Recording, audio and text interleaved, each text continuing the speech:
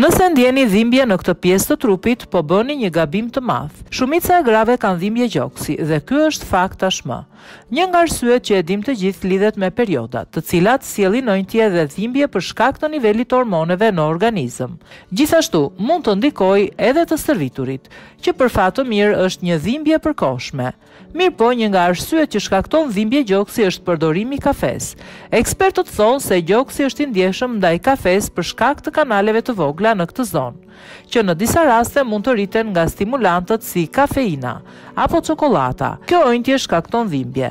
Pra, në rast se ndjeni se gjoksi ju dhem fill pasi keni konsumuar kafe, bëni një vizitë tek doktori, nëse duhet ta përjashtoni kafenë nga dieta juaj.